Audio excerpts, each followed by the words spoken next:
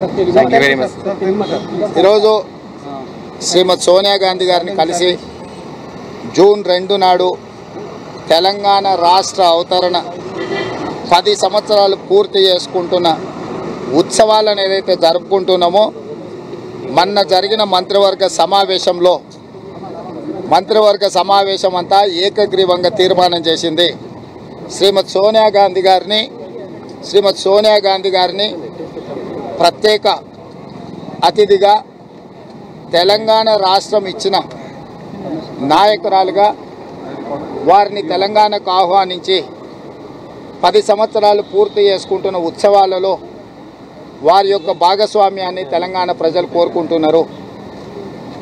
అదేవిధంగా మంత్రివర్గం కూడా తీర్మానం చేసింది. ఈ రెండు వివరాలను శ్రీమతి సోనియా గాంధీ గారికి వివరించి జూన్ రెండు తారీఖు నాడు తెలంగాణ రాష్ట్రంలో హైదరాబాద్ నగరంలో పరేడ్ గ్రౌండ్లో జరుగుతున్న తెలంగాణ రాష్ట్ర అవతరణ ఉత్సవాలకు హాజరు కావాల్సిందిగా వారిని ఆహ్వానించినాము. వారు సానుకూలంగా స్పందించారు ఇది తెలంగాణ నాలుగు కోట్ల ప్రజలకు చాలా సంతోషకరమైన వార్త. మేమందరం కాంగ్రెస్ శ్రేణులమందరం కూడా సోనియా గాంధీ గారి పర్యటన కోసం రాష్ట్ర అవతరణ ఉత్సవాల కోసం ఎదురు చూస్తున్నాము.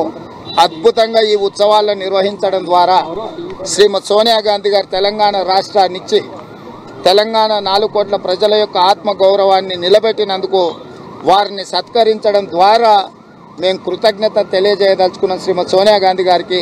వారు మా ఆహ్వానాన్ని అందించి వారు రాష్ట్రానికి రావడానికి ఒప్పుకున్నందుకు వారికి మనస్ఫూర్తిగా కాంగ్రెస్ పార్టీ అధ్యక్షుడిగా తెలంగాణ రాష్ట్ర ముఖ్యమంత్రిగా ధన్యవాదాలు తెలియజేస్తున్నా.